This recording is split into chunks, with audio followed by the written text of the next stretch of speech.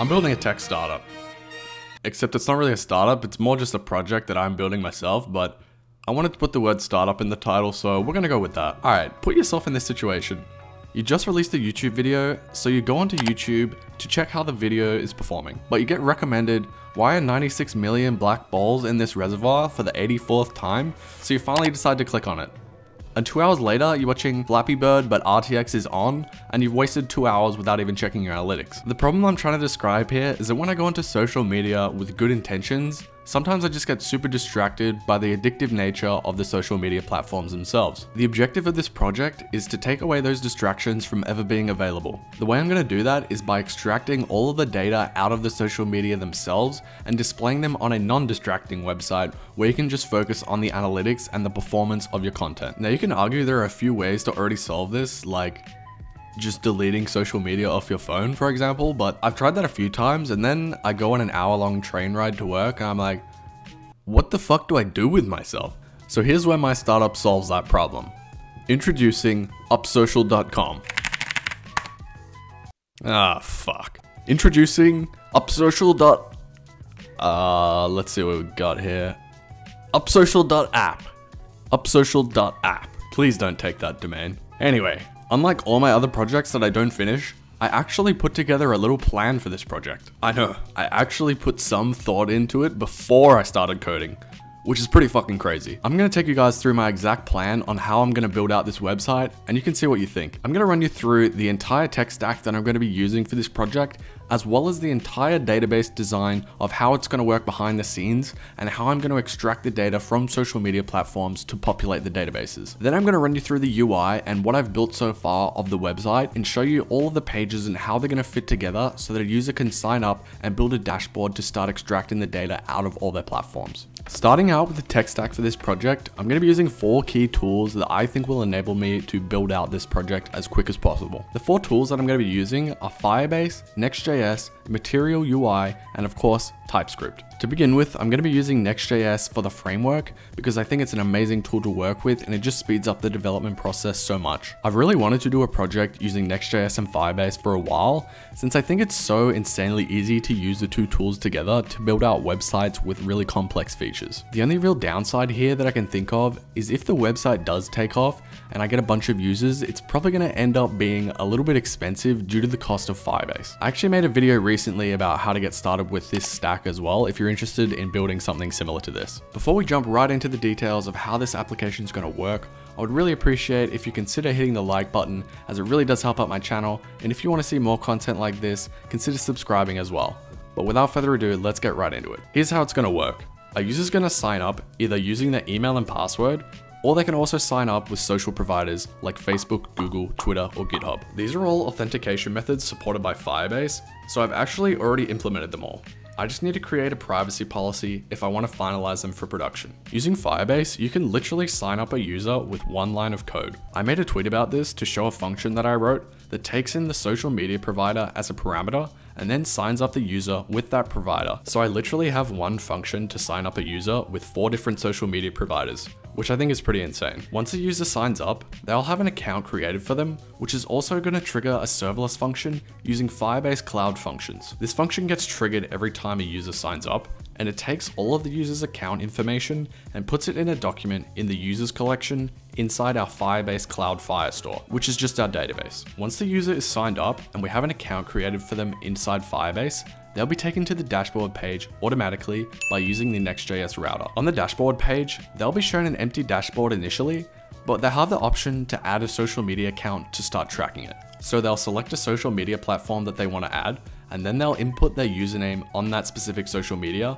which will trigger the creation of a sub-collection inside that user's Firebase document. For example, if a user added their YouTube channel to their dashboard by entering the username, that will create a YouTube subcollection within that user's document inside Firestore. Alright, so this is where it gets a little complex, and I'm still not sure if this is the best way of doing it, but this is my plan. So each user can have multiple social media platforms associated with their account.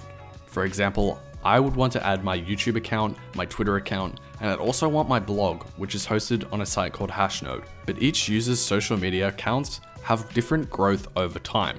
For example, I might have 200 subscribers today, but maybe I could have 205 subscribers tomorrow. So it's not as simple as just having a field called subscribers within the YouTube subcollection. I'll need to have multiple entries of how many subscribers that profile had per day so I can keep track of the growth over time. Then the site will need to figure out what is the most latest available data that we have for each social platform based on all of the data entries that we have inside the database. Not only that, I want to track the performance of each individual piece of content that I put out. For example, I want to know how many views each of my videos are getting each day. And in order to do that, I need to have data on how many views my video had on every date in the past. So we actually end up with this pretty huge database, since for each user, they'll have multiple social media platforms, which can have multiple data entries for each date over time, and also have multiple pieces of content for each social media platform, which can also have multiple data entries for each date. So at the moment, this is the current structure of the database that I'm going to implement, but we'll see how it changes over time. The way that I'm going to populate these databases is using each of the social media's individual developer APIs. For example, the YouTube API has endpoints to get the statistics of a channel as well as the statistics of each individual video's performance. Twitter has a similar API to get the current statistics of a user and their most recent tweets and the performance of each individual tweet. I'm going to schedule a cloud function to hit each of these APIs and request to get the data of each of the user's social profiles as well as their most recent pieces of content and store it under their respective user collections. These cloud functions are also going to be run on demand when a user adds their social username to the website for the first time so that we can display some data to them on their first visit. On the UI, I'll have an overview section where you can get a top level understanding of how many followers you have on each social media platform and underneath that, I'll have a section for each individual social platform as well, where you can see more platform specific metrics like how many views you have total, as well as content specific metrics for each of your most recent pieces of content. From there, you'll be able to see things like how many likes, dislikes, comments, or views that you got on each piece of content, as well as the growth of that content over time. So this is how the actual site's looking so far. I've just spent a few days trying to get the look and feel that I want, especially on this landing page, as well as the pages like the sign up and sign in page. So I got these graphics from a site called Undraw, which is crazy how accurate they are to what I actually wanted. As you can see, we've got these social icons here. I think it looks really perfect to what I'm trying to create. We've got these little guys and girls trying to pick up social media icons and put them on a dashboard, which is, you know, like literally exactly what I'm trying to do. So I thought that was pretty insane. But uh, if I go ahead and try and sign up, let's say if I go Google here, that's going to take us to the actual dashboard page. So if I exit full screen here, you'll see with that we're on the slash dashboard route. And all I've done on this page is grab the username once this little icon goes away, grab the username of the currently signed in user. So this is my account and pretty much what in theory I want is the overall followers of each of the social media profiles to appear here. And all I've done is added this floating action button with a nice little gradient.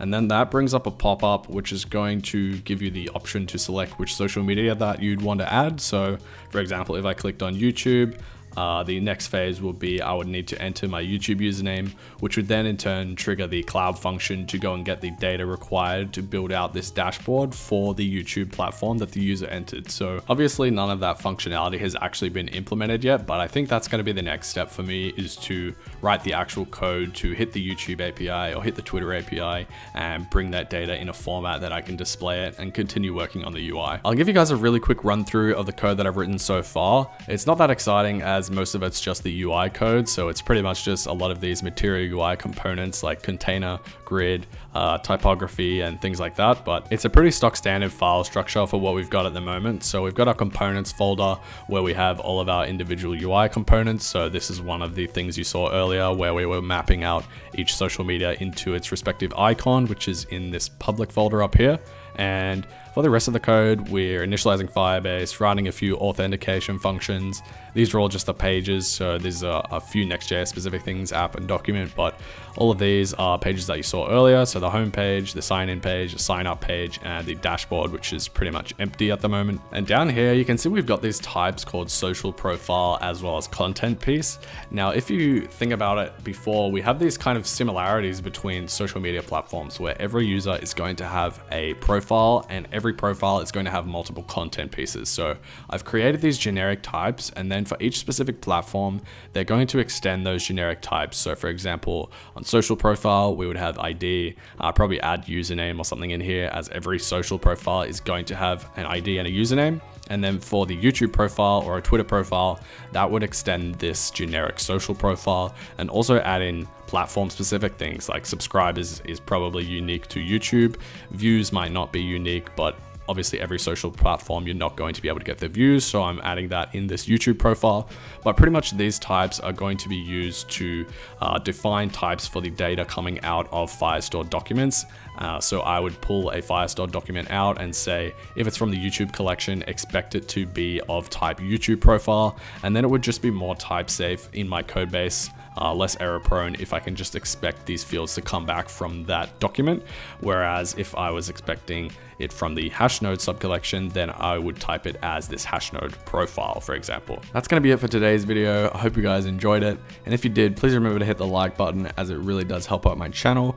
And if you're new here and you wanna see more content like this, consider subscribing to the channel as well. Other than that, thank you very much for watching.